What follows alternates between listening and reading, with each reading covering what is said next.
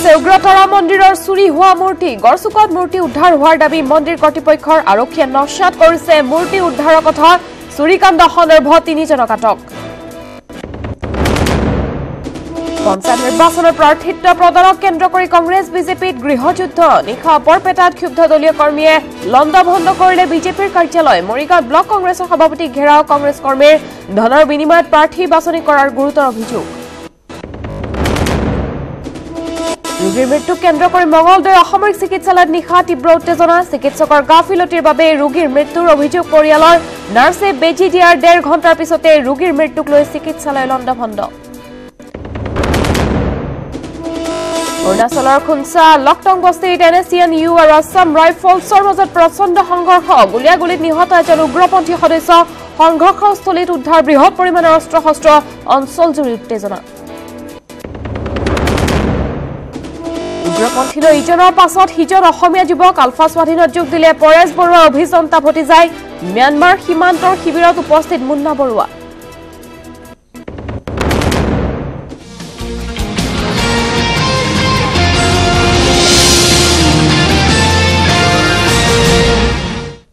নমস্কাৰ প্ৰথম সংবাদৰ সৈতে ষ্টুডিঅ'ত মহিমাশ্ৰী আৰম্ভণিতে এটা গুৰুত্বপূৰ্ণ খবৰ। উদ্ধাৰ হৈছে চুৰি হোৱা উগ্ৰতাৰা মন্দিৰৰ মূৰ্তি। চুৰি হোৱা মূৰ্তি গড়চুকত উদ্ধাৰ হোৱাৰ দাবী কৰিছে মন্দিৰ কৰ্তৃপক্ষই। অৱশ্যে মূৰ্তি উদ্ধাৰ হোৱা কথা অস্বীকাৰ কৰিলে আৰক্ষীয়ে। ঘটনা সন্দৰ্ভত তিনিজনক আটক কৰিছে আৰক্ষীয়ে। ধৃত এজনৰ নাম জামাল উদ্দিন। তিনি যুৱকক আটক কৰি জেৰা অব্যাহত ৰাখিছে ক্ৰাইম ব্ৰাঞ্চে। এতিয়াও পলাতক অৱস্থাত আছে। চুৰি কাণ্ডৰে জড়িত মূল অভিযুক্ত বৃহস্পতিবাৰে পুৱতি নিশা সংঘটিত হৈছিল। চাঞ্চল্যকৰ এই চুৰিকাণ্ড। চি চি টিভিত আবদ্ধ হৈছিল। চাৰিটা চোৰে লুটপাট চলোৱাৰ এই কাৰ্য। মূল বিগ্ৰহৰ লগতে কেইবা লাখ টকাৰ সোণৰ অলংকাৰ লুটি নিছিল গভাইট চোৰৰ দলটোৱে। আৰু উদ্ধাৰ কৰা হৈছে চুৰি হোৱা উগ্ৰতাৰা মন্দিৰৰ মূৰ্তি। চুৰি হোৱা মূৰ্তি গড়চুকত উদ্ধাৰ হোৱাৰ দাবী উত্থাপন কৰিছে মন্দিৰটোৰ কৰ্তৃপক্ষই। অৱশ্যে মূৰ্তি উদ্ধাৰ হোৱাৰ কথা এক প্ৰকাৰে অস্বীকাৰ কৰিলে আৰক্ষীয়ে। আৰু এই ঘটনা সন্দৰ্ভত তিনিজনক আটক কৰিছে আৰক্ষীয়ে। ধৃত তাৰে এজনৰ নাম জামাল উদ্দিন তিনি যুৱকক আটক কৰি জেৰা অব্যাহত ৰাখিছে ক্ৰাইম ব্ৰাঞ্চে এতিয়া পলাতক অৱস্থাত আছে চুৰি কাণ্ডৰে জড়িত মূল অপৰাধী। উল্লেখযোগ্য যে বৃহস্পতিবাৰে পুৱতি নিশা সংঘটিত হৈছিল চাঞ্চল্যকৰ এই চুৰিকাণ্ড আৰু চি চি টিভিত বন্দী হৈ ৰৈছিল সমগ্ৰ চুৰিকাণ্ড আবদ্ধ হৈছিল চাৰিটা চোৰে লুটপাট চলোৱা কাৰ্য। মূল বিগ্ৰহৰ লগতে কেইবা লাখ টকাৰ সোণৰ অলংকাৰ লুটি নিছিল গভাইট চোৰৰ দলটোৱে। ইয়াৰ পাছতে লতাশিল আৰক্ষীৰ প্ৰতি সন্দেহৰ সৃষ্টি হৈছিল যে কি কাৰণত দৰাচলতে লতাশিল আৰক্ষীয়ে চোৰ ধৰাত ব্যৰ্থ হৈছে। আৰু ইয়াৰ পাছতে সমগ্ৰ ৰাজ্যজুৰি প্ৰতিক্ৰিয়াৰ সৃষ্টি হৈছিল। এক প্ৰকাৰে শোকত ভাগি পৰিছিল ভক্তসকল আৰু ইয়াৰ পাছতে এটা সুখবৰ যে গড়চুকত উদ্ধাৰ কৰা হৈছে চুৰি হোৱা উগ্ৰতৰা মন্দিৰৰ মূৰ্তি। চুৰি হোৱা মূৰ্তি গড়চুকত উদ্ধাৰ হোৱাৰ দাবী উত্থাপন কৰিছে। এইবাৰ মন্দিৰ কৰ্তৃপক্ষ আৰু আনহাতে মূৰ্তি উদ্ধাৰ হোৱাৰ কথা অস্বীকাৰ কৰিলে আৰক্ষীয়ে এই সন্দৰ্ভত সবিশেষ তথ্য জানিম। আমাৰ সাংবাদিক দীক্ষিতা বৰাৰ পৰা। দীক্ষিতা আপোনাৰ সৈতে সংযুক্ত হৈছো। ইতিমধ্যে মন্দিৰ কৰ্তৃপক্ষই দাবী কৰিছে যে গড়চুকত উদ্ধাৰ কৰা হৈছে চুৰি হোৱা মূৰ্তি।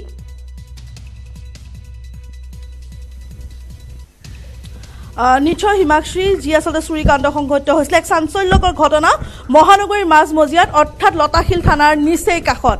আৰু তাৰ পাছতেই সমগ্ৰ ৰাজ্যতে আচলতে বিভিন্নজনে বিভিন্ন প্ৰতিক্ৰিয়া দিছিলে। আৰু তাৰ মাজতে এটা কথা ক'ব লাগিব যে বহু সময়ত যদি কোৱা হৈছে ইতিমধ্যে ওলাইছে যে চাৰিজন চোৰক আটক কৰা হৈছে কিন্তু কিমান দূৰ আচলতে সঁচা কিয়নো এই মাত এই মুহূৰ্ত পৰ্যন্ত কিন্তু প্ৰশাসন আৰক্ষী প্ৰশাসনে কোনো কথা পোহৰলৈ অনা নাই। আৰু তাৰ মাজতে আহ, যি মন্দিৰ কৰ্তৃপক্ষ আছে মন্দিৰ কৰ্তৃপ- কৰ্তৃপক্ষৰ লগতো কোনো যোগাযোগ স্থাপন কৰা নাই। যদিও বহুজনে কৈছে যে দুগৰাকীক ইতিমধ্যে আটক কৰা হৈছে কিন্তু কিমান দূৰ সঁচা সেয়া আমি জনাৰ চেষ্টা কৰিম মন্দিৰ কৰ্তৃপক্ষৰ পৰা।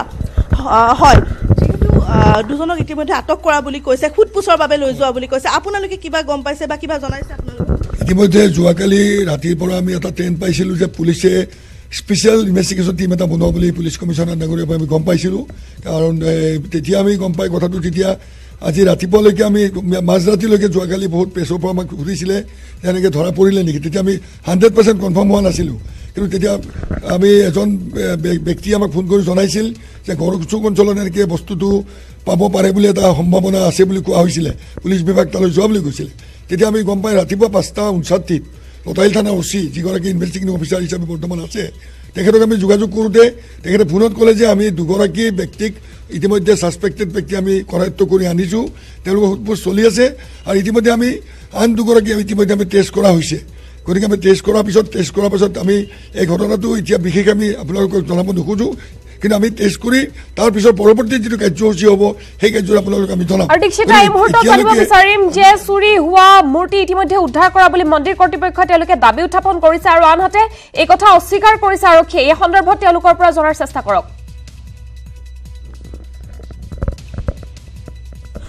নিশ্চয় হিমাক্ষী আমি পুনৰবাৰ জনাইছোঁ যে ইতিমধ্যে তেওঁলোকে কোনো যোগাযোগ হোৱা নাই আৰক্ষীৰ লগত আৰু আপোনালোকে কৈছিলে যে মন্দিৰ কৰ্তৃপক্ষই কিন্তু এবাৰ হ'লেও কৈছিলে যে মূৰ্তিটো পাইছে নেকি। কিন্তু আপোনালোক সঠিক তথ্য আপোনালোকৰ হাতত নাই। তেতিয়া মানে আমাৰ এগৰাকী মেনেজিং কমিটিৰ মেম্বাৰ অভিজিত শৰ্মা ডাঙৰীয়া আমাক জনালে যে এনেকৈ মূৰ্তিটো পুলিচ প্ৰশাসনৰ পৰা গম পোৱা বুলি কৈছে গম পাই গড়চুকৰ অঞ্চলত থকা বুলি মানে পোৱা এটা সম্ভাৱনা আছে বুলি কোৱাৰ পাছত আমি লগে লগে পুলিচক যোগাযোগ কৰিলোঁ। আপোনালোক যেতিয়া আমি কথাটো ক'লোঁ আলোচনা কৰিলোঁ তেতিয়া আলোচনা কৰাৰ পাছত ইতিমধ্যে পুলিচক যেতিয়া আমি যোগাযোগ কৰিলোঁ তেতিয়া পুলিচৰ officer Sunil Kalita officer in charge লতাইল police station তেখেতে কৈছে আমি টেষ্ট কৰিছোঁ হেৰি দুজন আন দুগৰাকী দুগৰাকী কৰায়ত্ব কৰি আনিছোঁ। আমি এতিয়া যিহেতু আইনী প্ৰক্ৰিয়া কিছুমান নিশ্চয় নিয়ম আছে গতিকে আমি সেইমতে আমি আগবাঢ়ি গৈ আছোঁ আৰু হাণ্ড্ৰেড পাৰ্চেণ্ট হোৱাৰ পাছত আপোনালোকৰ আমি যোগাযোগ কৰিম। নিশ্চয় হিমাক্ষী এইখিনিতে এটা কথা গুৰুত্বপূৰ্ণ কথা কিন্তু এই মুহূৰ্তলৈকে কোনো সঠিক তথ্য কাৰো হাততে নাই। পুলিচ প্ৰশাসনৰ তৰফৰ পৰাও কোনো কথা জনোৱা হোৱা নাই। তাৰ মাজতে কিন্তু এটা গুৰুত্বপূৰ্ণ বিষয় যে উগ্ৰতৰা দেৱালয় অৰ্থাৎ লতাশিল থানাৰ নিচে কাষতে লাগি আছে এই উগ্ৰতৰা দেৱালয় আৰু প্ৰতিদিনে কিন্তু ইয়াত ট্ৰেফিকিং দিয়া হয় বা বিভিন্নজন ইয়াত ৰাতি পেট্ৰলিং দিয়া হয়। কিন্তু কিমান দূৰ আচলতে সেয়া? কাৰণ। আচলতে আজি যেতিয়া পৰহি দিনা ঘটনাটো হৈ গ'ল অতি দুৰ্ভাগ্যজনক কথা। এই দুদিন পুলিচ প্ৰশাসনৰ কোনো মানুহ এই কেম্পাছত অহা নাই। এনে আহি খবৰ লৈ যায় কিন্তু ৰাতি যিটো পেট্ৰলিং দিব লাগে সেইটো কৰা নাই। আৰু দুই নম্বৰ কথা হৈছে কি আমাৰ নিশাৰ ভাগৰ যিটো আচলতে যিটো ছিকিউৰিটি সেইটো আমাৰ মাননীয় প্ৰয়াত director general police Shankar Prasad Barua যেতিয়া ইয়াত আছিলে তেখেতে আজি আঠ বছৰ আগত ইয়াত ছিকিউৰিটিটো ৰাতিৰ ছিকিউৰিটি আছাম পুলিচে দায়িত্ব লোৱা বুলি কৈছিলে। আৰু একৰ্ডিংলি পুলিচ হিচাপৰ পৰা লতাইল থানাৰ হয় ইয়াত এগৰাকী হোমগাৰ্ড নিযুক্ত কৰিছিল। এয়াই কিন্তু উগ্ৰতৰা দেৱালয়ৰ প্ৰথম ঘটনা নহয়। বিগত আহ, বৰ্ষতো দেখা পোৱা গৈছিলে বহু বছৰ আগত যে চুৰিকাণ্ড ইয়াত সংঘটিত হৈছিলে আৰু তাৰ পাছতে হোমগাৰ্ড এজন দিয়া গৈছিলে। কিন্তু এজনে চৌবিছ ঘণ্টা ডিউটি কৰে আপোনালোকৰ ইয়াত। কিন্তু এইটো অতি দুখৰ কথা। আমি কৈছোঁ যে এটা অন্যতম ঐতিহাসিক এটা পীঠস্থান আৰু ইয়াৰ মাহাত্য বেলেগ ধৰণৰ। ইয়াত বিভিন্ন ধৰণৰ ৰজাদিনীয়া সম্পত্তি ইয়াত আছে। এইটো মন্দিৰ কৰ্তৃপক্ষই অকল কণ্ট্ৰল কৰিব নহয়। গতিকে এইটো ক্ষেত্ৰত ছিকিউৰিটিৰ ক্ষেত্ৰত দিনৰখিনি প্ৰব্লেম নাই কিয় আমাৰ নিজৰ দুই তিনিজন আমাৰ চকীদাৰ বা কেয়াৰটেকাৰ আছে। ৰাতিৰ ক্ষেত্ৰত যদি আছাম পুলিচে নিজে দায়িত্ব লৈছে আমি ভাবি ধন্যবাদ জনাইছো। আৰু এইবাৰ পঞ্চায়ত নিৰ্বাচনৰ খবৰ।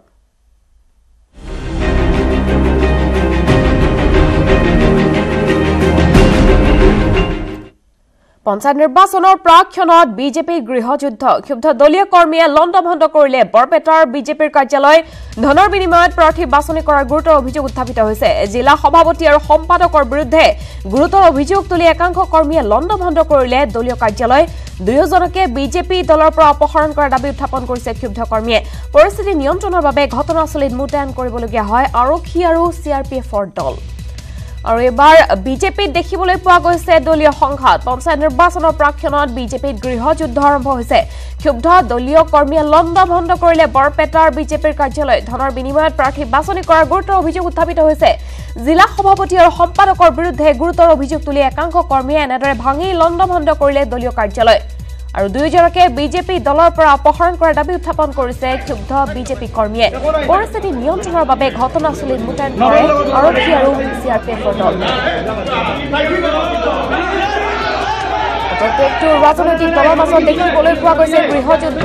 বিজেপিৰ বৰপেটাৰ দলীয় কাৰ্যালয়ৰ দেখুৱাইছো ক্ষুব্ধ জনতাই এনেদৰে সভাপতি আৰু সম্পাদকৰ বিৰুদ্ধে অভিযোগ উত্থাপন কৰিছে ভাগি লণ্ডভণ্ড কৰা হৈছে বিজেপিৰ কাৰ্যালয় ধনৰ বিনিময়ত প্ৰাৰ্থী বাছনি কৰাৰ গুৰুতৰ অভিযোগ উত্থাপিত হৈছে জিলা সভাপতি আৰু সম্পাদকৰ বিৰুদ্ধে গুৰুতৰ অভিযোগ উত্থাপন কৰিছে একাংশ দলীয় কৰ্মীয়ে আৰু ক্ষুব্ধ কৰ্মীয়ে ভাঙি লণ্ডভণ্ড কৰে বিজেপিৰ কাৰ্যালয় দুয়োজনকে বিজেপি দলৰ পৰা অপসাৰণ কৰাৰ দাবী উত্থাপন কৰি এনেদৰে উত্তপ্ত পৰিস্থিতিৰ সৃষ্টি কৰে ক্ষুব্ধ বিজেপি কৰ্মীয়ে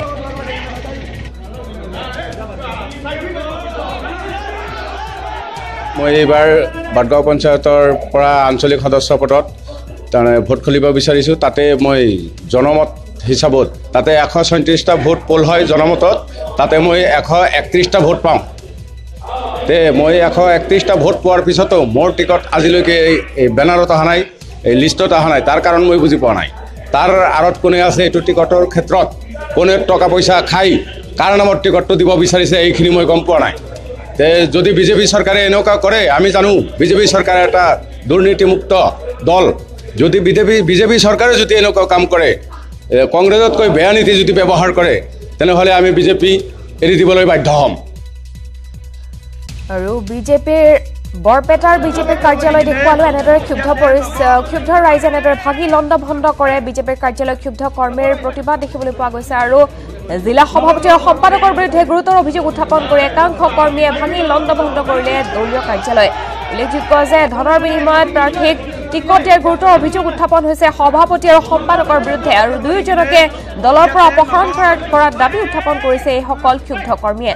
উত্তপ্ত পৰিস্থিতিৰ সৃষ্টি হয় নিশা। বৰপেটাৰ বিজেপি কাৰ্যালয়ৰ দৃশ্যাৱলী দেখুৱাইছো আৰু ঘটনাস্থলীত আৰক্ষী আৰু চি আৰ পি এফৰ দল উপস্থিত হৈ পৰিস্থিতি নিয়ন্ত্ৰণ কৰিবলৈ বাধ্য হয়।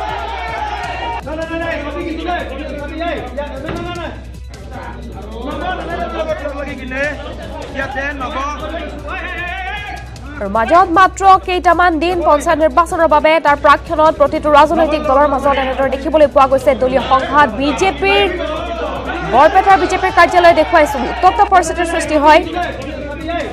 ক্ষুব্ধ একাংশ কৰ্মীয়ে ভাঙি লণ্ড ভণ্ড কৰে বিজেপিৰ কাৰ্যালয়। সভাপতি আৰু সম্পাদকৰ বিৰুদ্ধে গুৰুতৰ অভিযোগ উত্থাপন কৰিছে এইসকল ক্ষুব্ধ কৰ্মীয়ে। ধনৰ বিনিময়ত প্ৰাৰ্থীক টিকট দিয়াৰ গুৰুতৰ অভিযোগ উত্থাপিত হৈছে সভাপতি আৰু সম্পাদকৰ বিৰুদ্ধে। আৰু আনহাতে মৰিগাঁৱতো অনুৰূপ পৰিৱেশৰ সৃষ্টি হৈছে। মৰিগাঁৱত মৰিগাঁৱৰ খবৰ জনাম কিন্তু এই মুহূৰ্তত বৰপেটাৰ খবৰ অধিক জনাব আমাক নিৰঞ্জন দাসে। নিৰঞ্জন আপোনাৰ সৈতে সংযুক্ত হৈছো। দলীয় সংঘাতৰ সৃষ্টি হৈছে বৰপেটাতো। যোৱাকালি নিশা বৰপেটাত প্ৰাৰ্থিত্ব কেন্দ্ৰিকক লৈ দলীয় সংঘাতৰ সৃষ্টি হৈছে। একাংশ প্ৰাৰ্থীয়ে টিকট প্ৰত্যাশী প্ৰাৰ্থীয়ে টিকট বিচাৰি আহিছিল কিন্তু তেওঁলোকে টিকট পাব পোৱা নাই। তেওঁলোকে অভিযোগ কৰিছে যে ইয়াৰ সম্পাদক আৰু সভাপতিয়ে টকাৰ লেনদেন কৰি যিবিলাক প্ৰাৰ্থী আচলতে টিকট পাব নালাগে তেওঁলোকক প্ৰাৰ্থিত্ব দিছে। এইটোৱে এক দলীয় সংঘাতৰ সৃষ্টি হৈছে অন্তৰ্কণ্ডল হৈছে তেওঁলোকৰ মাজতে। নিৰঞ্জন এই মুহূৰ্তত ধন্যবাদ জনাইছো। আৰু মৰিগাঁৱতো একে ঘটনা সংঘটিত হৈছে। মৰিগাঁৱত প্ৰাৰ্থিত্ব কেন্দ্ৰিক সংঘাতৰ ভয়ানক ৰূপ। মৰিগাঁৱৰ মৈৰাবাৰীত নিশা উত্তপ্ত পৰিস্থিতিৰ সৃষ্টি হয়। কংগ্ৰেছ কৰ্মীৰ মুখত পৰে। ব্লক কংগ্ৰেছৰ সভাপতি হাজাৰ হাজাৰ কংগ্ৰেছ কৰ্মী আবদ্ধ কৰিলে। ব্লক কংগ্ৰেছৰ সভাপতি শ্বৰীফুদ্দিন আহমেদক প্ৰাৰ্থিত্ব প্ৰত্যাশীৰ পৰা লাখ লাখ টকা লোৱাৰ অভিযোগ উত্থাপিত হৈছে। এখন দোকানত আশ্ৰয় লৈ ৰক্ষা পৰিল কংগ্ৰেছ নেতাজন। আৰক্ষীয়ে ৰাইজৰ কবলৰ পৰা উদ্ধাৰ কৰে ব্লক কংগ্ৰেছৰ সভাপতিগৰাকীক।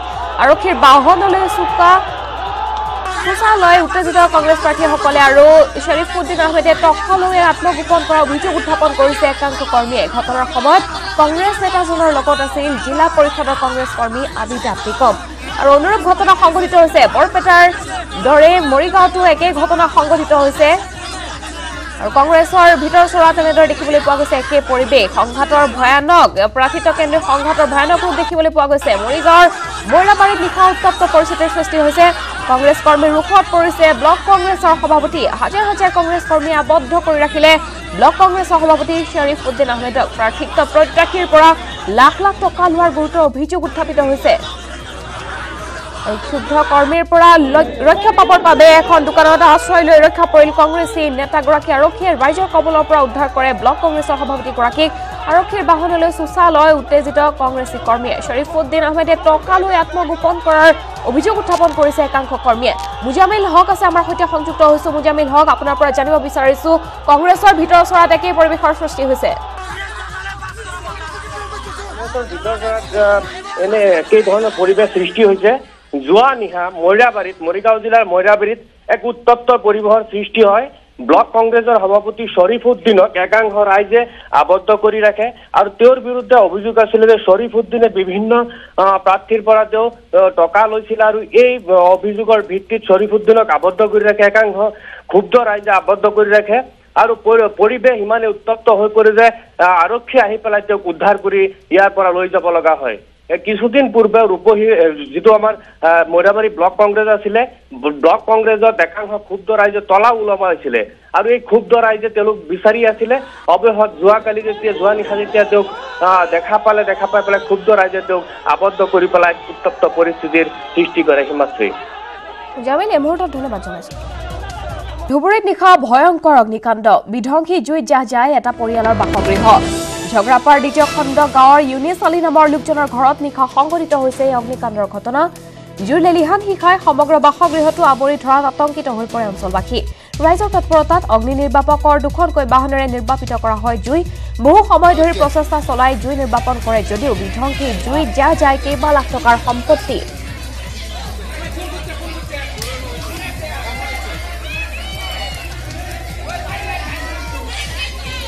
ভয়ংকৰ অগ্নিকাণ্ড ধুবুৰীত সংঘটিত হৈছে। এই ভয়ংকৰ অগ্নিকাণ্ড বিধ্বংসী জুইত জাহ যায় এটা পৰিয়ালৰ বাসগৃহ।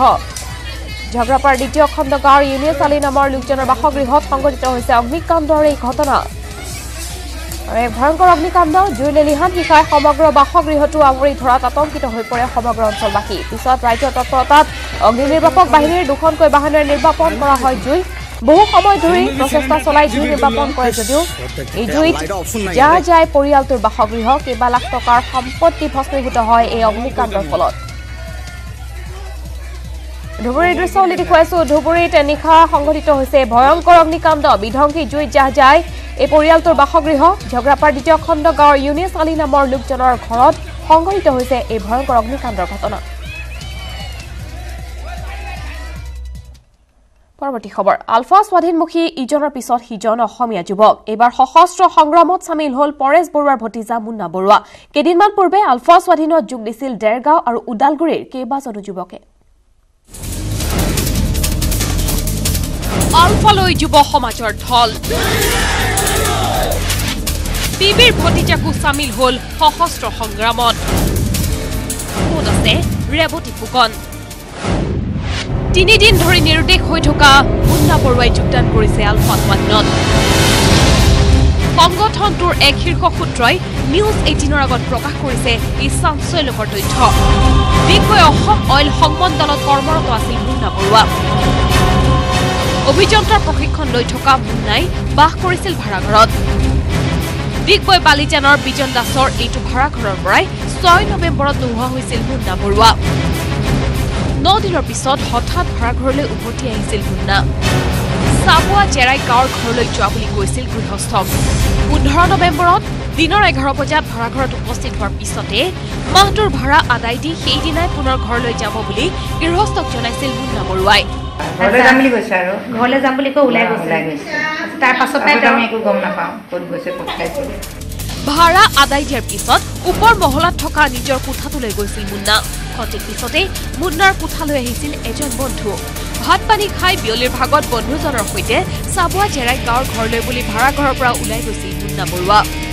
মালিজান বাছ আস্থানত মুন্নাক বাছত তুলি দিছিল বন্ধুজনে। সেই বাছখনত উঠাৰ পিছৰে পৰা মুন্নাৰ সৈতে বিচ্ছিন্ন হৈ গ'ল সকলোৰে সংযোগ। বন্ধুৱে শেষবাৰলৈ এই ডিগবৈৰ বাছ ষ্টেণ্ডতে ঘৰলৈ বুলি বিদায় দিছিল মুন্না বৰুৱাক আৰু সেই বিয়লি পৰা আজি পৰ্যন্ত নিখোজ হৈ আছে মুন্না বৰুৱা। ভাড়াঘৰৰ গৃহস্থক ঘৰলৈ যাম বুলি কোৱা মুন্না উপস্থিত নহল চাবুৱা জেৰাই গাঁৱৰ ঘৰখনত।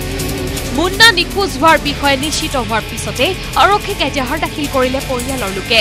কিন্তু বিগত তিনিদিনে আৰক্ষীয়ে সন্ধান পোৱা নাই। আলফা সেনাধ্যক্ষ পৰেশ বৰুৱাৰ ভতিজাক মুন্না বৰুৱাৰ। তেওঁলোকৰ ঘৰৰ মানুহে এনেই মৌখিক হিচাপে আমাক জনাইছিলে যে ডিগবৈৰ পৰা নিৰুদ্দেশ হৈছে বুলি। আৰু এই বিষয়লৈ তিনিচুকীয়া পুলিচে তদন্ত কৰি আছে। আমিও চাই আছোঁ। নাগৰিকত্ব সংশোধনী বিধেয়কক লৈ ৰাজ্য উত্তাল হোৱাৰ সময়তে উজনিৰ পৰা নামনিলৈ বহু যুৱক যুৱতীয়ে যোগদান কৰাৰ তথ্য আহিছে আলফা স্বাধীনত। পৰেশ বৰুৱাৰ ভতিজাক মুন্না বৰুৱাও একে পথৰে পথিক হোৱাৰ তথ্য লাভ কৰিছে নিউজ এইটিনে। মুন্না বৰুৱা সম্পৰ্কে নিশ্চিত তথ্য আহিছে যদিও এতিয়াও অন্ধকাৰত পৰেশ বৰুৱাৰ ঘনিষ্ঠ ৰেৱতী ফুকন নিৰুদ্দেশ হোৱাৰ তথ্য। প্ৰশ্ন হয় বাইছ এপ্ৰিলত গুৱাহাটীৰ পৰা নিৰুদ্দেশ হোৱা ৰেৱতী ফুকনেও যোগদান কৰিছে নেকি আলফা স্বাধীনত? ডিগবৈৰ পৰা ৰীণা কাকতি গগৈৰ সহযোগত bureau report News Eighteen Assam North East. পৰৱৰ্তী খবৰ চিকিৎসালয়ত ৰোগীৰ মৃত্যু কেন্দ্ৰ কৰি নিশা মঙলদৈ তীব্ৰ উত্তেজনা। চিকিৎসকৰ গাফিলতিৰ ফলত সুমিত দাস নামৰ লোকজনৰ মৃত্যু হোৱাৰ অভিযোগ উত্থাপন কৰিছে পৰিয়ালৰ লোকে। নাৰ্ছে বেজী দিয়াৰ ডেৰ ঘণ্টাৰ পিছতে ৰোগীজনৰ মৃত্যু হোৱাৰ অভিযোগ উত্থাপন কৰি লণ্ডভণ্ড কৰিলে চিকিৎসালয়। মঙলদৈ অসামৰিক চিকিৎসালয়ত সংঘটিত হৈছে এই ঘটনা। বাইক দুৰ্ঘটনাত আহত সুমিত দাসক ভৰ্তি কৰোৱা হৈছিল মঙলদৈ অসামৰিক চিকিৎসালয়ত। আহত লোকজনক চিকিৎসালয়ত পৰ্যাপ্ত চিকিৎসা প্ৰদান নকৰা গুৰুতৰ অভিযোগ উত্থাপন কৰি ক্ষুব্ধ হৈ পৰে পৰিয়ালৰ লোক। চিকিৎসালয়ত ৰোগীক মৃত্যুক কেন্দ্ৰ কৰি নিশা এনেদৰে উত্তেজনাময় পৰিৱেশৰ সৃষ্টি হয়। চিকিৎসকৰ গাফিলতিৰ ফলতে সুমিত দাস নামৰ এই লোকজনৰ মৃত্যু হোৱাৰ অভিযোগ উত্থাপন কৰিছে পৰিয়ালৰ লোকে। উল্লেখযোগ্য যে নাৰ্ছে বেজী দিয়াৰ ডেৰ ঘণ্টাৰ পিছতে ৰোগীজনৰ মৃত্যু হোৱাৰ অভিযোগ উত্থাপন কৰি লণ্ডভণ্ড কৰে চিকিৎসালয়। ভালে আছে। পিঠিৰ ফালে পিঠিখন গোটেই ছাল যোৱা আৰু হাতত অলপ অলপ দাগি হৈছে আৰু মাথাত কাটা আছে। ইয়াতে ঠিক হ'ব বুলি ক'লে। যদি ঠিক নহয় তেতিয়াহ'লে আমাক এফাৰ কৰিব লাগিছিল। তো ৰেফাৰ আমাক দিয়া নাই। দিনটো কোনো চিকিৎসা নাই। যোৱাকালি সি তাক লাৱাৰ লাচৰ মতন সি চাৰা ৰাতিটো পৰি আছে। তো হঠাৎ খবৰ পাওঁ যে লগৰ বেডৰ এজনে ফোন কৰিছে। যে আপোনালোকৰ পেচেণ্টজন ঢুকাইছে। হয় ৰং ট্ৰিটমেণ্টে আৰু ধৰক সেইটো এতিয়া ডক্তৰৰ চিকিৎসা হিচাপত আমাৰ হিচাপত ৰং ট্ৰিটমেণ্ট নাৰ্ছ এজনী আহি ইঞ্জেকশ্যন এটা দিলে। দিয়াৰ ক্ষেত্ৰত তেওঁ এক্সপায়াৰ হৈ গ'ল। তো তো আমি ডক্তৰ বিচাৰিছোঁ ডক্তৰজন নাই যিজনে লিখি দিছিলে সেইজন নাই। তো এতিয়া নোহোৱাত আমি অলপ উত্তেজিত হৈছোঁ। হোৱাৰ কাৰণে পুলিচ প্ৰশাসনক জনাইছে জনোৱাৰ কাৰণে মংগললৈ অসামৰিক চিভিল হস্পিটেল আহিছে তেওঁলোক। আহি আমাক কোবাইছে। কোবোৱাৰ পিছত আমি অলপ উত্তেজিত হৈছোঁ। আৰু এনেদৰে চিকিৎসক আৰু নাৰ্ছৰ বিৰুদ্ধে গুৰুতৰ অভিযোগ উত্থাপন কৰিছে পৰিয়ালৰ লোকে। সবিশেষ তথ্য জানি নৱজ্যোতি মহন্তৰ সৈতে সংযুক্ত হৈছো। নৱজ্যোতি আপোনাৰ পৰা জানিব বিচাৰিছো পুনৰ চিকিৎসকৰ গাফিলতিৰ ফলত সুমিত দাস নামৰ এই লোকজনৰ মৃত্যু হোৱাৰ গুৰুতৰ অভিযোগ উত্থাপন কৰিছে পৰিয়ালৰ লোকে। নিশ্চিতভাৱে ক'ব লাগিব যে যোৱা মংগলদৈ অসামৰিক চিকিৎসালয় হয়। আৰু বিশেষভাৱে ক'ব লাগিব যে দুদিন পূৰ্বে দুৰ্ঘটনা সংঘটিত হৈছিল মংগলদৈ ব্লক চকৰ সুমিত দাস নামৰ এজন যুৱক আৰু ইয়াৰ পিছতেই মংগলদৈ অসামৰিক চিকিৎসালয়ত ভৰ্তি কৰা হৈছিল।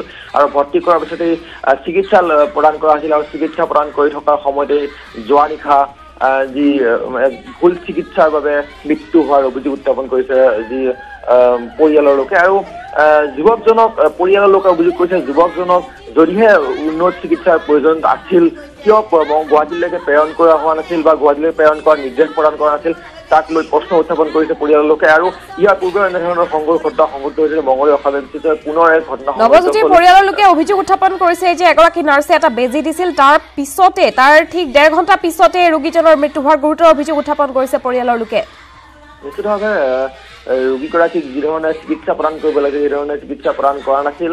আৰু নাৰ্ছ এগৰাকীয়ে যি প্ৰায় ন মান বজাত এই বেজী দিছিল এটা বেজী দিছিল আৰু বেজী দিয়াৰ পিছতে প্ৰায় ডেৰ ঘণ্টামান পিছত ৰোগীগৰাকীৰ মৃত্যু হৈছিল আৰু তাৰপিছতে পৰিৱেশ উত্তপ্ত হৈ পৰিছিল এই মংগলদৈ অসামৰিক চিকিৎসালয় আৰু ইতিমধ্যে লাঠি চালনাও কৰিছিল যি আৰক্ষী লোকসকলে ৰোগীৰ আত্মীয়সকলক আৰু এই ধৰণে যেন আৰু এজন যুৱকৰ মৃত্যু হ'ল এই ভুল চিকিৎসাৰ কাৰণে মংগলদৈ অসামৰিক চিকিৎসালয়ত। নৱজ্যোতি এই মুহূৰ্তত ধন্যবাদ জনাইছো। এক ব্ৰেকিং নিউজ কৃষি উন্নয়ন বিষয়াৰ পদৰ কেলেংকাৰী চাৰ্জশ্বিট দাখিল কৰা হৈছে। ভাঙাগড় থানাত গোচৰৰ তিনিজনৰ বিৰুদ্ধে চাৰ্জশ্বিট দাখিল কৰা হৈছে। কুণাল দাস কৌশিক কলিতাৰ বিৰুদ্ধে চাৰ্জশ্বিট। বিকাশ কুমাৰ পিন্সাৰ বিৰুদ্ধে চাৰ্জশ্বিট দাখিল কৰা হৈছে। এ পি এছ চিৰ মূল গোচৰত গ্ৰেপ্তাৰ হৈছিল তিনিওজন। ইতিমধ্যে চাকৰিৰ পৰা বৰ্খাস্ত কৰা হৈছে তিনিওজনকে। বৰ্খাস্ত হোৱা কুণাল দাস আছিল এ চি এছ বিষয়া কৌশিক এ পি এছ আৰু বিকাশ পিন্সা আছিল কৰ অধীক্ষক।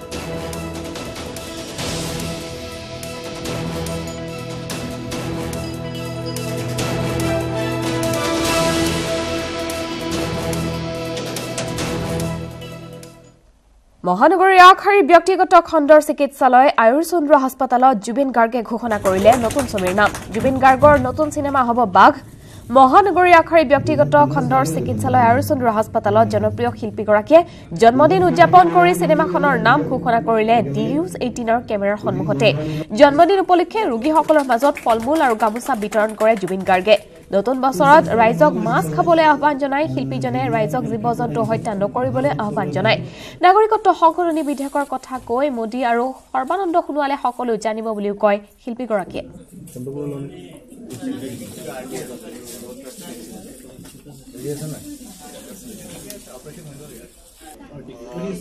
মই এতিয়া আছো আয়ুচন্দ্ৰ হস্পিটেল আৰু বঠাকুটা আছে। মেইন চি এন চি খুব ভাল লাগিল। গোটেইখিনি ষ্টাফ চবকে লগ পালোঁ পেচেণ্টবিলাক লগ পালোঁ। আৰু তেওঁলোকে এটা বৰ ধুনীয়া এটা কেম্প কৰিছে আজি যে চবকে ফ্ৰী টেষ্ট কৰিছে। লিভাৰ টেষ্ট হওক কিডনী টেষ্ট হওক হাৰ্ট টেষ্ট হওক কিবা যিখিনি টেষ্ট আছে গোটেই মোৰো টেষ্ট কৰিলে। মোৰ ঠিকে আছে নে চব? ৰিপৰ্টবিলাক খুবেই ভাল। সকলো ৰিপৰ্ট এনেই নক'ব কিন্তু। নাই নাই মই মই মই মেডিকেল হেৰিৰ বিষয়ে কেতিয়াও এনেই নকওঁ। ৰিপৰ্টবিলাক খুব ভাল আৰু হাৰ্টৰ কলেষ্ট্ৰলৰ যোনটো ভাল কলেষ্ট্ৰল যোনটো হাৰ্টটো চাফা ৰাখে তেওঁৰ যোনটো লেভেল ওলাইছে মই আজি পঁচিছ বছৰত কাৰোৰে তাৰ আশে পাশেও লেভেল দেখা নাই। ইয়াৰ মাজতে আন এক গুৰুত্বপূৰ্ণ খবৰ অৰুণাচলত এন এছ এন ইউনিফিকেশ্যন আৰু আছাম ৰাইফলছৰ মাজত প্ৰচণ্ড সংঘৰ্ষ। সংঘৰ্ষত নিহত হৈছে এজন উগ্ৰপন্থী সদস্য। অৰুণাচলৰ খুঞ্চা লকটং বস্তিত সংঘটিত হৈছে গুলীয়াগুলীৰ এই ঘটনা। সংঘৰ্ষস্থলীত উদ্ধাৰ বৃহৎ পৰিমাণৰ অস্ত্ৰ শস্ত্ৰ গুলীয়াগুলীক লৈ অঞ্চলটো তীব্ৰ উত্তেজনাই বিৰাজ কৰে। ঘটনাস্থলীত আছাম ৰাইফলছৰ জোৱানে অব্যাহত ৰাখিছে উগ্ৰপন্থী বিৰোধী অভিযান। আৰু অৰুণাচলত সংঘটিত হৈছে এই ঘটনা। অৰুণাচলৰ N S C N unification আৰু আছাম ৰাইফলছৰ মাজত প্ৰচণ্ড সংঘৰ্ষৰ সৃষ্টি হৈছে।